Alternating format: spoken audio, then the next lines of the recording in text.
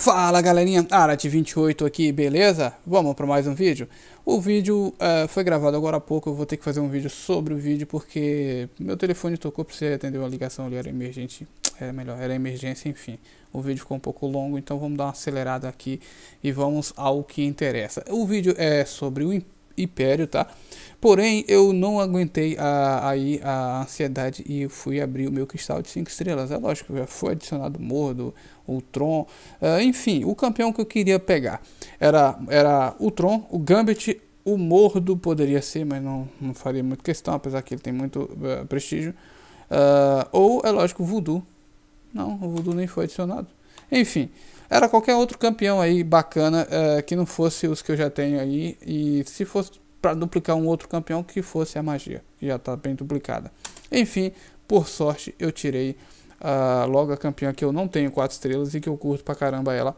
Eu faço eventos para alguns clientes, aí acabo pegando ela, usando ela nos eventos e eu acho ela muito top. E foi a Electra, tá? Excelente campeã. Em breve vocês verão ela, ela aí, é, 3,45. É, Lembrando também que eu vou estar tá fazendo um vídeo depois, é, a habilidade dela já expliquei, já tem vídeo no canal, já fiz até vídeo aí mostrando que ela ignora a salvaguarda, beleza? Mas quem quiser e tiver curiosidade sobre mais alguma coisa sobre ela, é só deixar aí nos comentários que eu vou estar tá fazendo vídeo e mostrando pra vocês, beleza? Uh, eu curto ela, como eu já mencionei aí, porque a habilidade característica dela é muito bacana em, na maioria dos eventos. Agora vamos ao Império. Uh, lembrando que o meu, eu não tenho ele ele quatro estrelas, não teve como eu fazer o evento, melhor, a arena dele é, quando ele veio como principal e agora ele vai vir, vir como secundário e provavelmente eu não vou fazer também porque já tem clientes que está procurando desde agora, ou seja, desde há uns 15 dias atrás já reservou essa arena dele aí. A galera quer muito ele. Bom, e o que, que ele tem de, de especial? Você pode estar me perguntando. Então vamos lá. Primeiro, ele tem uh, uma fisiologia bacana e o, e o, e o danado é, é resistente ao veneno. Na verdade, ele é imune, ele não é resistente, tá? Resistente é o Karnak. Mas vamos lá, a fisiologia eterna do, de Império é, se torna mais eficiente em armazenar e converter radiação cósmica, resultando uh, em um aumento de 38,52% de duração de bônus, beleza? Eu vou pular aqui algumas coisas desnecessárias, porque vocês podem simplesmente olhar na ficha de vocês para ficar o vídeo mais curto. Mas enfim, ataques pesados, eu vou pular a fisiologia que já mencionei. Ataques pesados 40% de chance de causar fúria, ganhando 264 de ataque por 10 segundos. Isso não é muita coisa aparentemente, porém, uh, na prática esse trem aí faz um, um estrago que só. Vocês verão aí um pouco mais à frente, tá? Uh, o que eu acho de mais interessante no Império é o... É lógico que o especial dele você sabe que incinera, eu vou também fazer no vídeo aí vocês verão que isso aí é muito top e essa habilidade característica dele aí também é, o deixa, melhor, o torna um campeão muito cobiçado.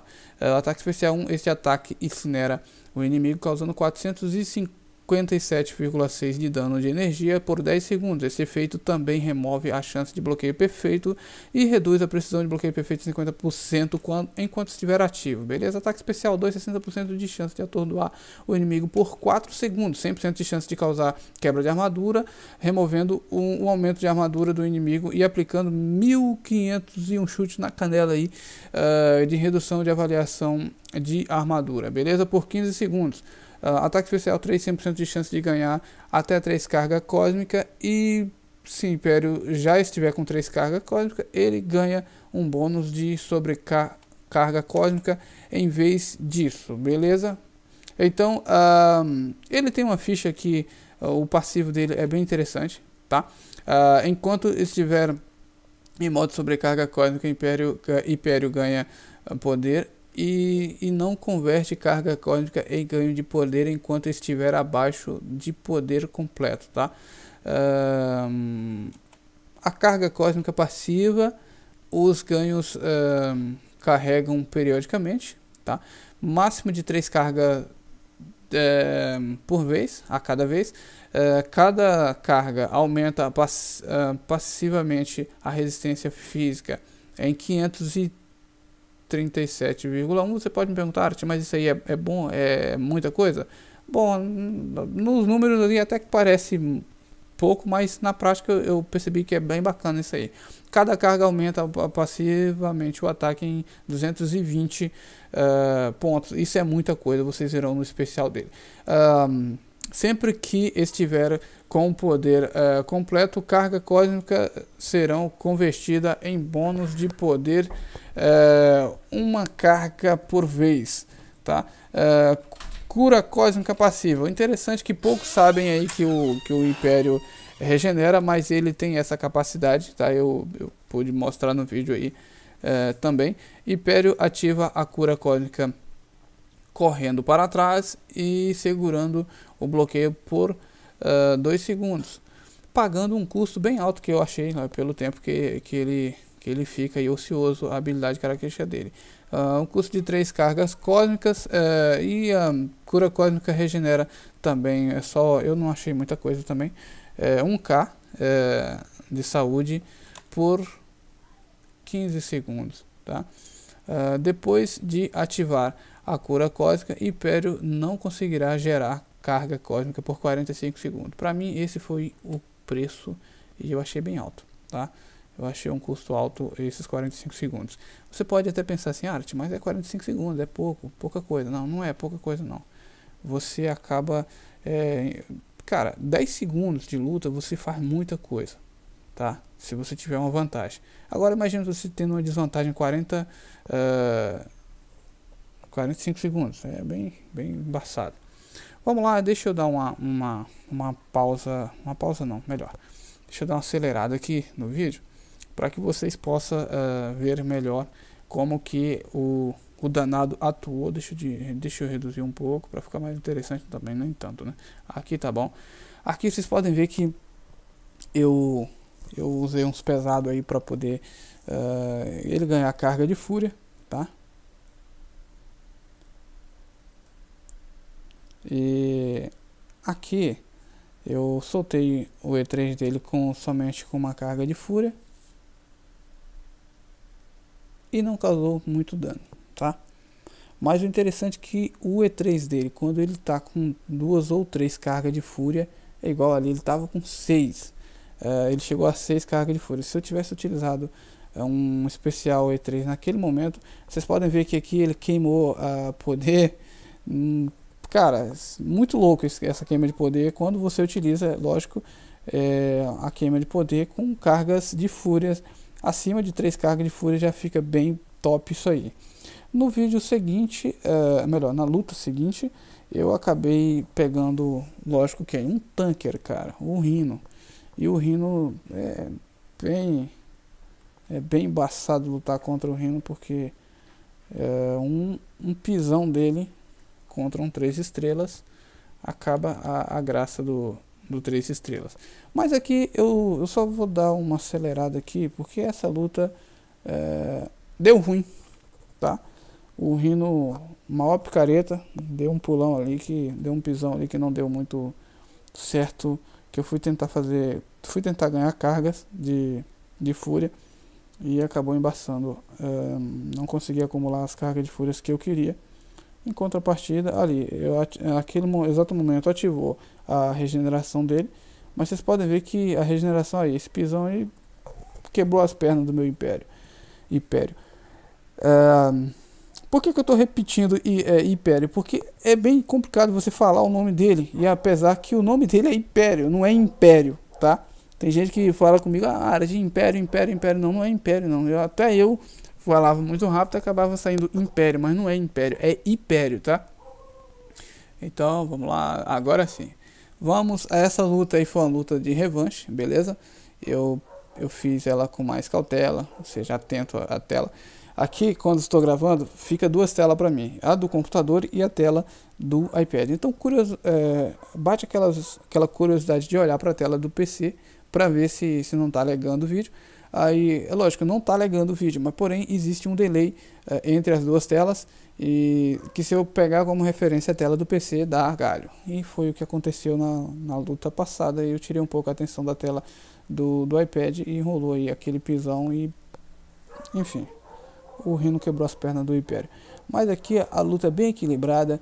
Eu, eu também uh, comecei a ganhar umas cargas de fúrias ali, ó.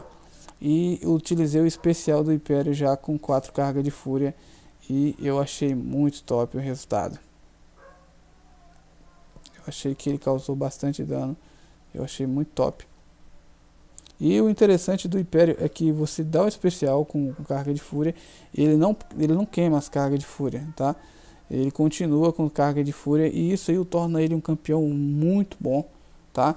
Uh, vai ser uma pena se eu não conseguir ter tempo aí para pegar ele na minha conta, mas é lógico que eu priorizo aí uh, os players, é lógico que os meus clientes aí que quer entrar em contato aí, se ainda tiver vaga, é lógico que eu prefiro sacrificar ele de pegar ele na minha conta um, e mais pegar para algum player aí que tenha conta e tenha capacidade de pegar. Aqui eu achei muito top nessa luta foi que o, o Império ele ele carregou muita ele ele ele armazenou muita carga de fúria contra o, o punho e eu achei isso muito top porque com as, essas cargas de fúria deixou ele extremamente forte é, aqui eu dou um especial, olha lá, ele chegou 8 cargas de fúria. E aí eu achei que tava, tava pouco, aí ele vai lá me encarga, me, me junta 10 cargas. e olha o resultado dessas cargas de fúria. o bicho é extremamente nervoso. Eu curti demais o Império exatamente por conta disso, tá? O bicho é o bicho mesmo. É um campeão que eu tô aqui pensando seriamente. Acho que três dias sem dormir dá pra para segurar as pontas aí e pegar ele na minha conta também, é lógico, né? Acho que jogando, fazendo aí uh, um esforço, dá para pegar ele na minha conta também. Uh, porque eu não quero perder esse louco, porque ele é bom demais. Eu tenho catalisador, já estou farmando catalisadores aqui para subir ele, tá? Eu tenho a Fênix que eu estava pensando em subir ela, mas depois desse resultado aí, nesse vídeo, realmente eu pensei aí duas vezes e eu vou subir o Império uh, ao invés da, da Fênix. A Fênix está tá nível 20, coloquei ela nessa posição, é lógico.